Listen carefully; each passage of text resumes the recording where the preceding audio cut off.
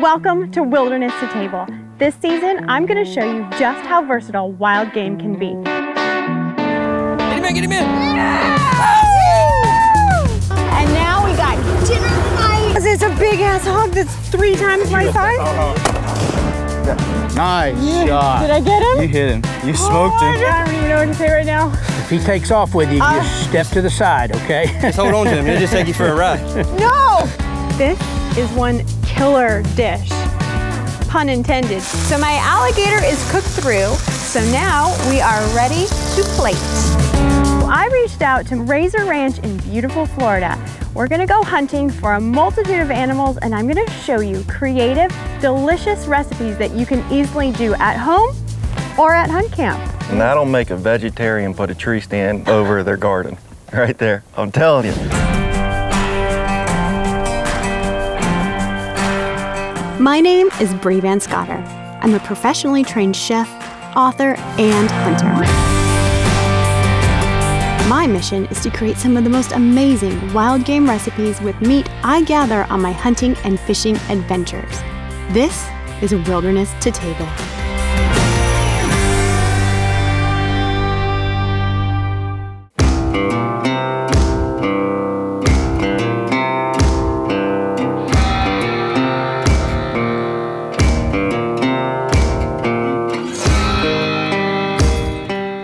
Started researching where to hunt for my wild game meat this season, I found Razor Ranch located in Central Florida.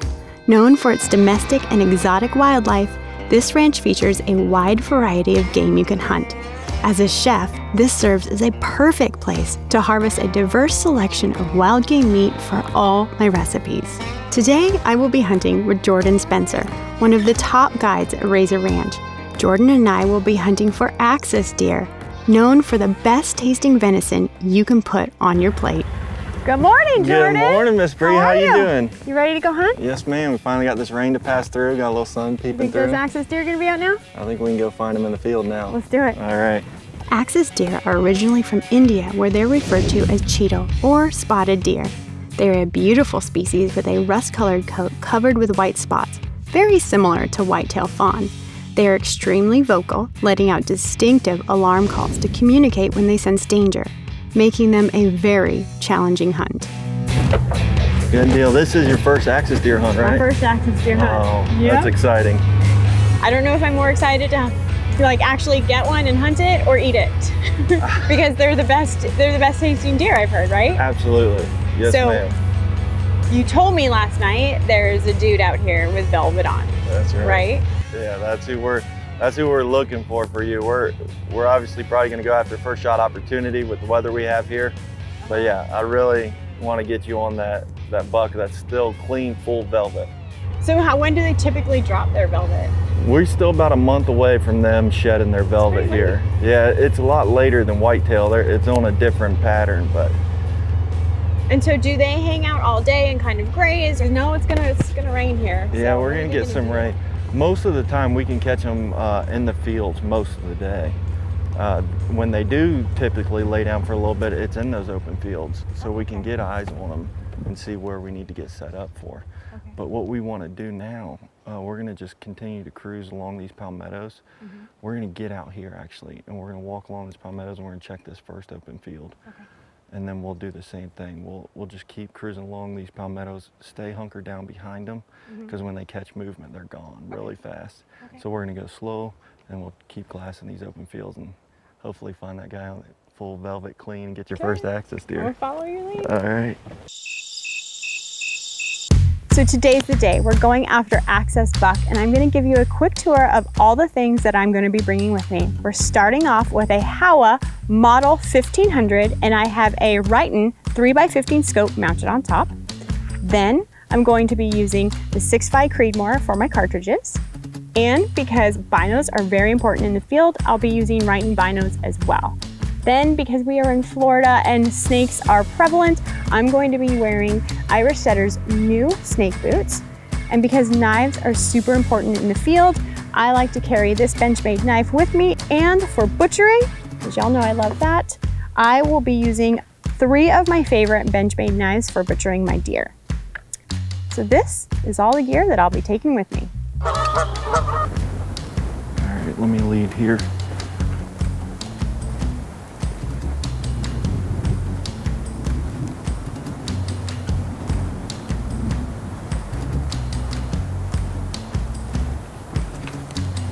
Good hog. Oh, there's a hog. Yeah, good hog right there. It's a big sow. So Wilderness to Table is actually my little blog that could, is what I like to say. Um, I started off, my career is a professional chef. I started off in fine dining my whole entire career. I moved to the South and I started hunting because I wanted to source my own organic protein, like true organic protein. And as soon as I got into hunting and I started to create recipes, obviously I'm looking online to see what other people did, and there was such a lack of wild game recipes. I know how to grill a backstrap and I know how to make a popper. And I just felt those two dishes that were so popular with hunters were not doing the animal justice. I started Wilderness to Table as this little blog to showcase what I was doing as a professional chef in my kitchen with wild game as I use as much of the animal as I possibly could. And I just wanted to showcase the versatility and how amazing it is. And it is my mission to show you how wonderful wild game is and it's so good for you. It's a little windy, Jordan. No. It's, it's, we kind of have a bad wind for this field. So what we need to do now, Bri, is we're going to sneak through the woods here Okay, and we're going to circle around so we can get upwind of these deer. gotcha. We're hoping that they're in uh, one of these two other open fields. But if we don't sneak around now, it's going to kill us. Yep. So let's go ahead and get back in the cart Okay. and sneak around do here. Axis deer meat is mild in taste, extremely tender, and exceptionally low in fat. Ask around and you'll find out that Axis are known by hunters to be the best tasting venison you can find. Their alert call is a bark, so when you hear a bark, you know that they know you're there. So the morning, which I thought started off really well, we came across our first herd of Axis deer. So we creep in very slowly so they don't hear us. We set the sticks out. I, I slowly put my rifle on the sticks.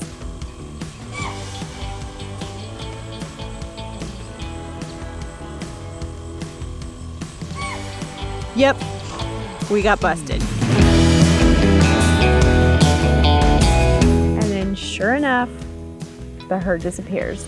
So this happened about two or three times this morning. Nope. Nope. Maybe. Nope. And nope. We kept having to go to different herds and try to sneak up on them, and it was quite the adventure. We'll get back on that group that has three different shooters in it. And then, of course, it's Florida, and the wind, the weather can change in an instant. It started pouring down rain.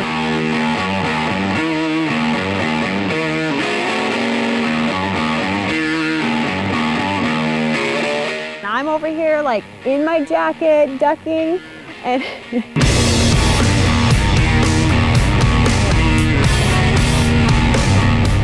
I usually don't wear all this makeup when I'm hunting regularly, but because it's the show, I have to, and I really didn't want to go back and do it again.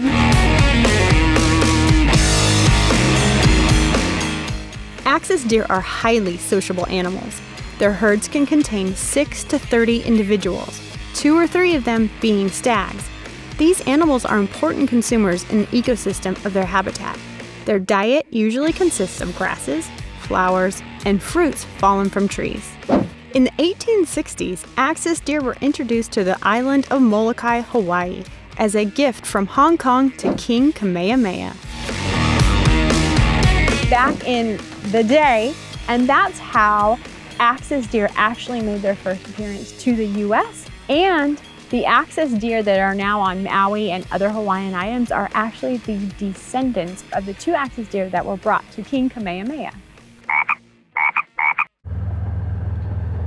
Man, Bri, we've been at it all day. I know.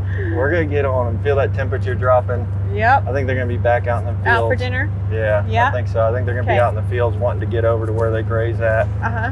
We're gonna try and get up to this this main big field where I've been seeing them at, Okay. and uh, we'll sneak around that corner on glass, and then hopefully we'll put a stop. Hopefully on we got that. one this Yeah, time. That's right.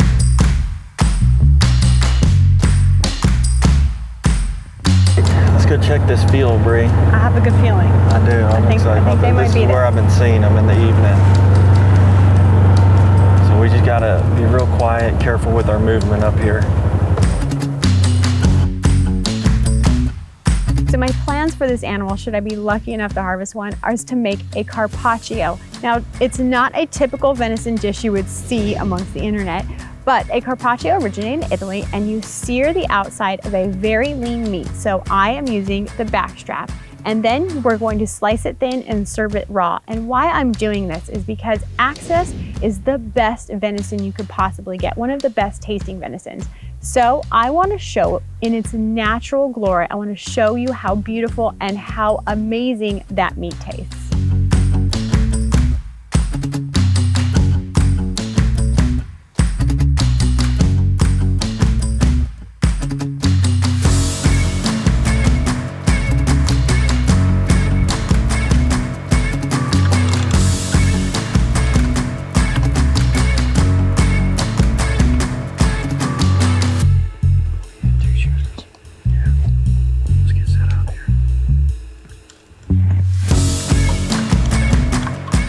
In that herd, as we creeped up on them, we saw two shooter bucks. And lo and behold, the first one, he kind of walked off with the rest of the group.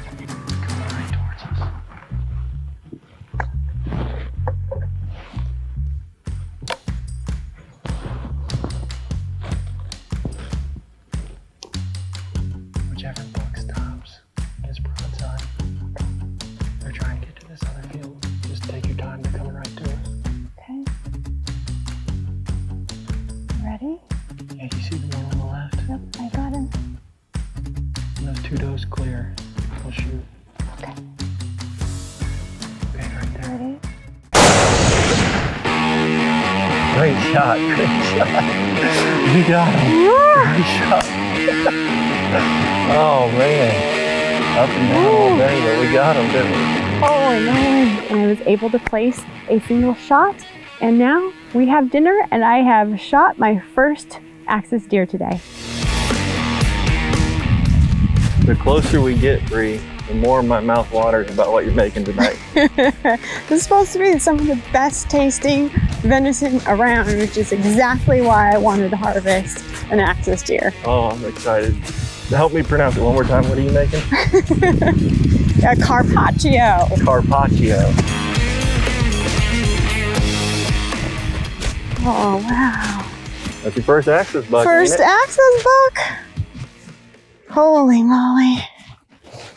Oh, thank you. Thank you for the meat that will provide for my table. Oh, Tasty, he's tasty. pretty awesome. Yeah. Oh man. Look at this dude. He's still got his velvet on. This is my mm. first buck with velvet on too. Oh, that's awesome. Thank you, Jordan. I really appreciate all Oh, your hard work today on helping me get this axis deer. It's really one I won't forget. Yes, ma'am. So I enjoyed you. it. I won't forget it. Well, should we go get the buggy and load him up? Yeah, let's go get the buggy and load him up. Let's do it.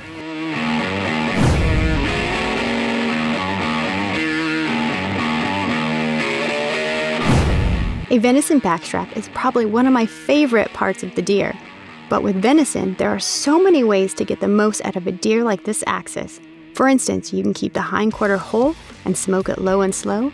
You can debone the shoulder, use the meat for slow cooked roast, and you can even use the delicious meat from the neck to make stews. So I just removed the backstrap. It's probably the prized piece on this axis deer.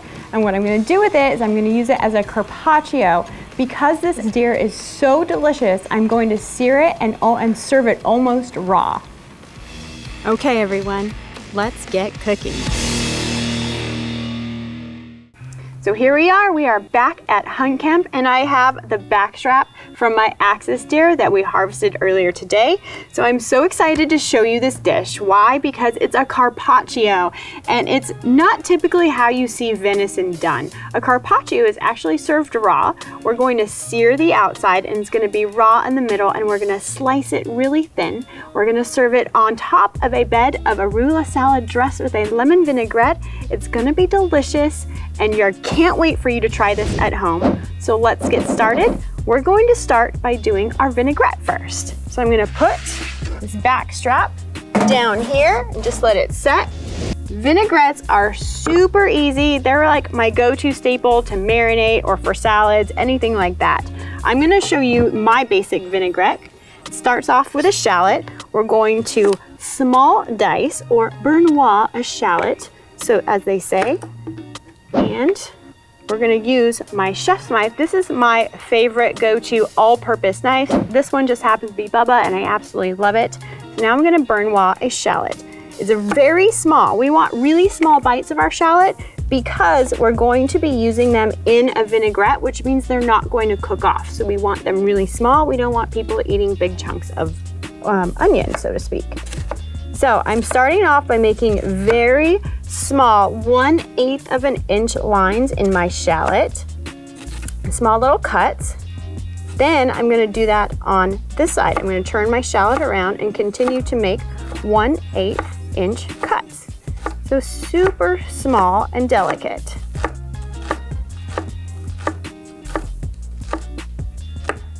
I'm just gonna toss the end then I'm gonna use my chef knife and I'm gonna run through it one more time just to make sure that everything is nice and small for our dressing.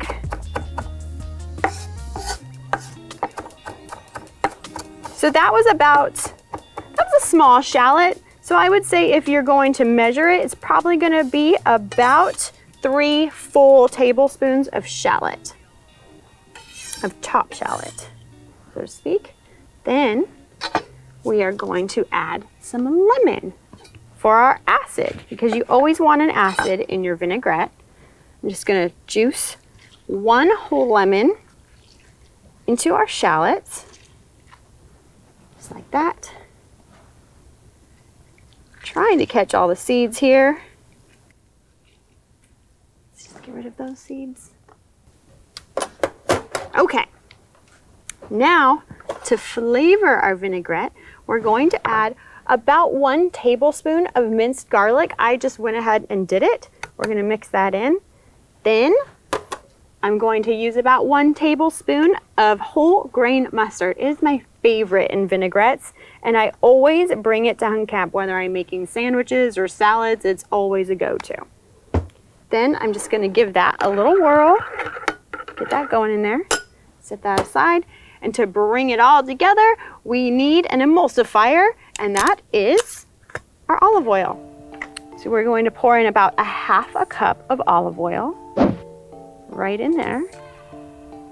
Then before I whisk it all up, we're going to season it with kosher salt and pepper because you season at every step in cooking, right? Right. if you're not, you should be. So wipe my hands and take my whisk. We're gonna get that going. And now we have a beautiful vinaigrette and it's gonna bring that nice acid to our um, carpaccio and our bitter arugula. I like arugula because it's slightly bitter than most lettuces and I think it just goes really well with acid and venison. So now that we have our our vinaigrette made, we're gonna go ahead and get to the star of the show, which is our backstrap. I'm very excited about this because this is my axis backstrap, which I harvested yesterday. It was quite the hunt, I'm sure you saw. So I'm gonna use my chef's knife and what I'm gonna do is trim the backstrap of the silver skin. It's really, really important that you get all the, the silver skin off the backstrap because silver skin will not cook down. There are some fats and, and little loins in, in venison or beef that will cook off during the cooking process, but silver skin will not. So be sure you always remove all of that so it's not chewy and you're not pulling anything out. So I'm just gonna go ahead I'm gonna make a little cut. It's a really tough, so you gotta kind of work at it. I like to make one strip just to get it going, and I run my knife up towards the silver skin, so not into the meat. Just like that.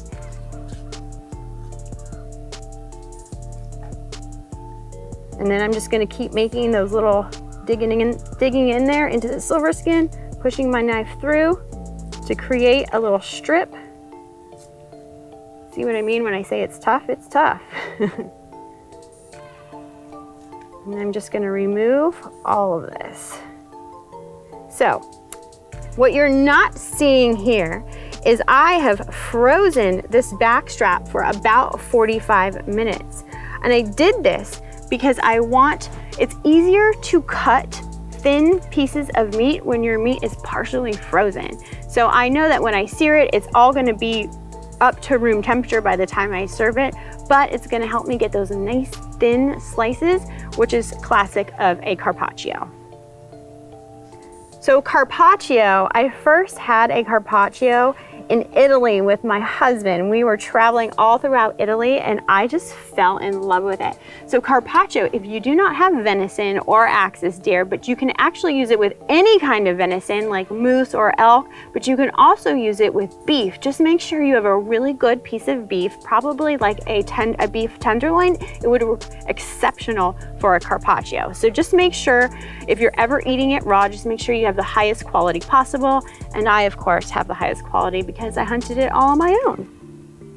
So I am using one of my favorite workhorses in, the, in my kitchen, which is a chef's knife. I take it anywhere, even if I'm at hunt camp or wherever, if I'm traveling, doing cooking events. I never leave home without a chef's knife. It is the workhorse, like I said, of all the knives. You want the right tool for the right job, so that's why I always carry a chef's knife because it will really do anything. You do not want to put your paring knife to this beautiful piece of meat because it's not the right tool for the right job. So I'm removing just the last little bits of silver skin that were left over from when we processed our my axis deer. So I have it just about finished. And then we're going to just trim them up so that it's all nice and even because when you're, it's all nice and even, it all cook at the same time. And when we're searing it, we really, really wanna make sure that it's all cooking at the proper time. Okay, we got that. We've got our back strap all de-skinned from the silver skin. I'm gonna wipe my hands off with some antibacterial wipes and I don't wanna cross-contaminate anything. And then we're going to start searing. My mission as starting Wilderness to Table was to really showcase wild game in a beautiful light. My whole background is in fine dining and when I started to hunt for my food, I realized that there was a lack of creative, delicious wild game recipes that I actually wanted to cook in my kitchen. I really wanted to showcase, hey, I have all of this venison. I know how to grill a backstrap. But me as a fine dining chef, I know that I can do so much more and I wanted to show people. And my mission is always to eat head to tail, hunt, hunt, forage, and grow. So I grow vegetables, forage for mushrooms, that type of thing. But it really started off the basis of me wanting pure organic protein. Let's get our stove on. We're going to put it on high heat because we want a hot, hot pan, okay? Because we just want to sear and get all those Maillard reactions, which are the caramelization that happens in your pan and on the meat. There we go. That's what we want. So we're gonna let that set. We're gonna let that warm up. Now, I am using something that I really love for fat in my pan. I'm using beef tallow. I prefer it over a vegetable oil or a canola oil. It's just rendered beef fat and I usually take it with me whenever I'm cooking, whether it's at hunt camp or events. I happen to love it. It does have a higher smoke point as well, which is really important when you're having a really hot pan and you want to sear something. So that is what I'm going to use in my pan. And now I'm going to add about three tablespoons of beef tallow to our pan to melt. And that is what we are going to sear the axis backstrap in. That going help it out a little bit. while that is going, while that is melting and our pan is getting super hot, I am going to season our backstrap. I like to keep things pure and simple. Axis meat is some of the best venison you can get. So for this, I'm simply using kosher salt and black pepper to season my backstrap. So I've got some kosher salt. I'm going to season very liberally. I am going at it. I'm not, none of this. No, no, no. You go like this. That's what you want. Don't be afraid of the salt. Don't be afraid of the seasoning. Now I'm gonna do this, black pepper. That's one side. I'm gonna use my tongs and I'm gonna flip it over and season the other side. And my beef tallow is already melting and my pan is steaming. So now, now I'm going to sear. A sear is only gonna take one, maybe two minutes max, if that. That's what you wanna hear. So I'm, I'm not gonna leave my pan. I'm gonna watch it the whole time because I only want an eighth to a quarter inch sear on it. I don't want it to cook all the way through at all. Almost there. You can tell at the end of your back strap how you're searing. Get that fat around there.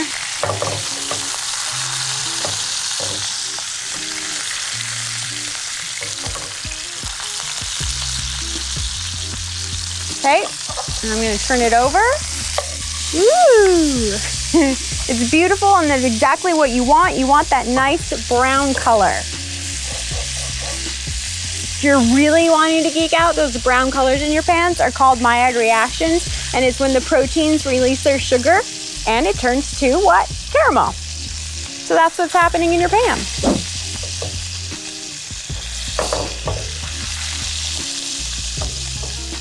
Okay, I'm about ready to pull this off my pan. How's it looking? Perfect. So I am going to take this and I'm gonna put it on the clean side of my board and I want to let it rest for about five minutes before I start slicing into it or else we're gonna lose all the beautiful juices that are in it, okay? So we're just gonna turn this off. So I am choosing to make this ultra special and I am going to use a meat slicer to make sure I get those slices super thin. But if you do not have a meat slicer with you at hunt camp, um, you can also just use a very, very sharp chef's knife and just slice them really, really thin. So to make this a little bit easier for my slicer, I'm going to go ahead and slice my back strap in half to create two pieces just so that I don't have, giant, have to sli slice giant pieces of back strap on the slicer. So now I'm gonna go ahead, I'm gonna clean up my workstation and we're gonna get ready for plating. I have cleared all the dirty dishes and now I'm gonna get ready and I'm going to slice and we're going to plate this fabulous Axis Carpaccio. So let's get started. I am going to take my slicer and we're gonna use this. I mean, hello, perfect sear, right? That's what you're looking for. I'm gonna place it on the slicer. Slicers can be very dangerous, y'all. I've seen some accidents. So I'm gonna use the guard to help me. I have it on a setting, this one is about a two and a half. So I'm gonna go ahead and turn my slicer on and we're gonna make small slices.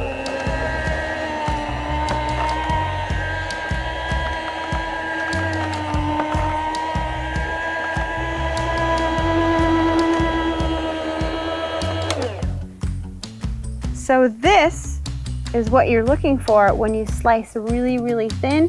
All right, here at one point you can almost see through it. That's exactly what we want.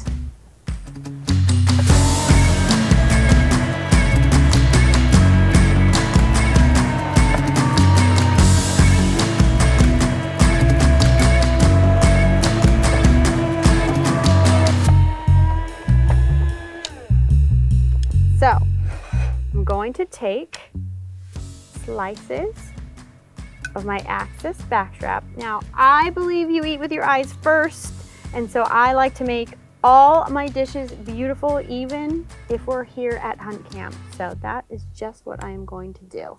So I'm just gonna place these around the plate just so it looks really pretty.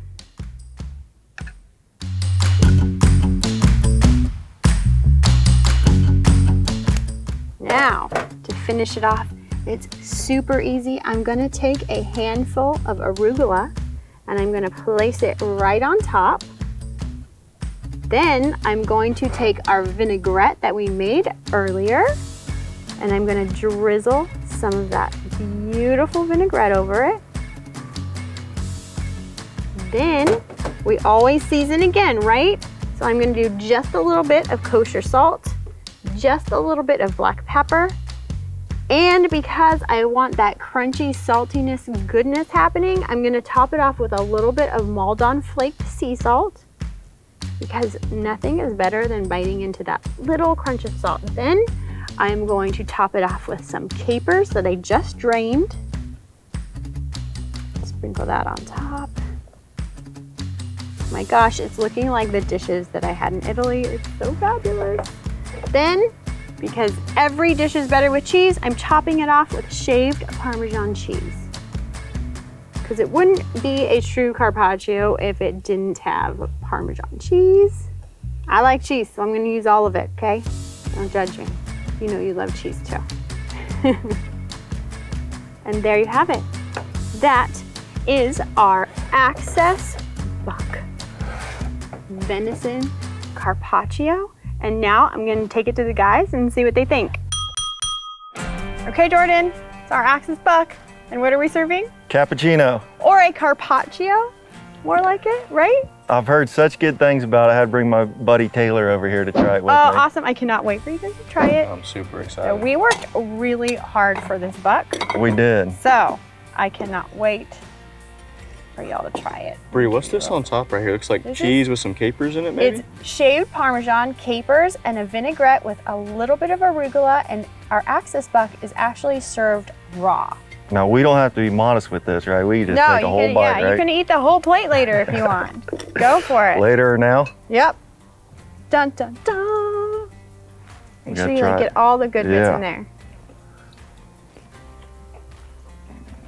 Oh my oh gosh. my goodness. Have you ever had raw good. Axis Buck? Never had raw. Not raw. That's delicious. I'm gonna have to Never start had having it. raw axis more often though, I'll tell Right? you that. Only with high quality. Listen, meat. that'll make a vegetarian put a tree stand over their garden. Right there. I'm telling you. And they like it.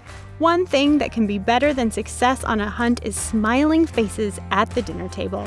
By the looks of things, my Axis Deer Carpaccio was a hit. That is awesome. Well, what a day. We hunted so hard for my first Axis buck. We were actually able to harvest him, we processed him, and I used the backstraps in one of the most beautiful ways I thought possible by making a carpaccio. So if you would like this recipe, head to sportsmanguides.com and you can also find the links for all the gear that I used in case you're wondering about that too. So this was the essence of Wilderness to Table, and I'll see you next time in the next episode. So where's mine, guys?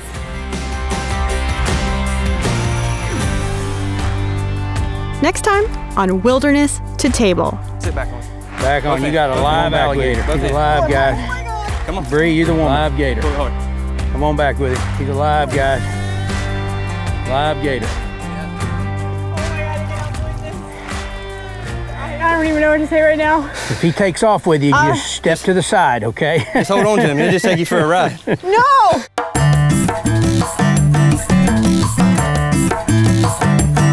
Welcome to Let's Talk About It, where tacos are my jam. Today, I'm getting surprised by one of my members of my crew, my cameraman, Tormy. He's got something up his sleeve. He is about to give me a bag of items that I have no idea what's in it, and you know what? We're gonna make a taco out of whatever's in this bag. Good luck with this. Okay, thank you. Oh, I have shrimp, tail on, and some shito peppers. I actually love the shito peppers. They're delicious. Um, yeah, let's get started. I have no recipe for this. I'm gonna totally make it up on the fly as we go. But you know what? That's what tacos are about. Gonna add, get my pan on, because we gotta cook our shrimp. Let's do that. We're gonna add, what do I wanna add? We're, we're gonna go with olive oil. We're gonna go with olive oil to do the shrimp. A little in the pan. We're gonna get our shrimp out. So I'm gonna put my shishito peppers down first. And I wanna blister these. So I'm gonna add the shrimp to my pan. I'm gonna add some garlic.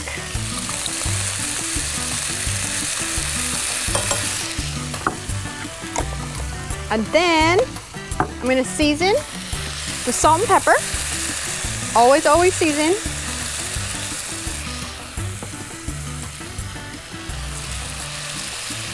Okay. Then, see, give that a whirl. I'm debating. We're gonna go. We're gonna go Asian. So I'm gonna use a little bit of soy sauce here in the pan. Then I'm gonna do a teeny bit of sambal. Yeah, I think that's good for right now. We're gonna get that going. Oh yeah. Okay, so now we gotta think garnishes. What's gonna go on top?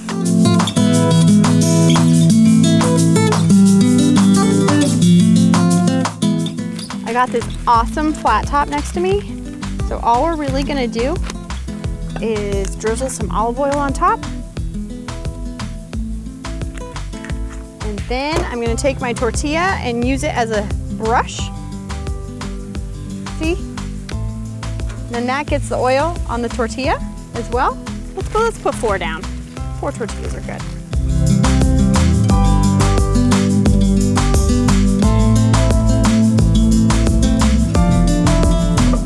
Then we're going to plate.